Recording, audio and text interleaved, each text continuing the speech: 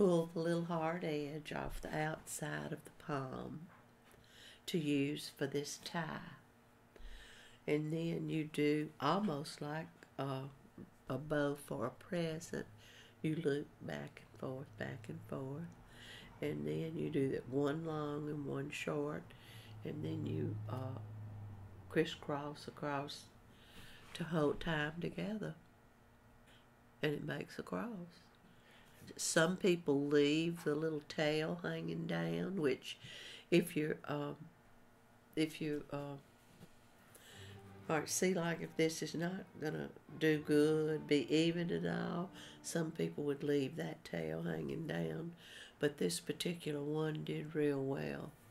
It it turned out even.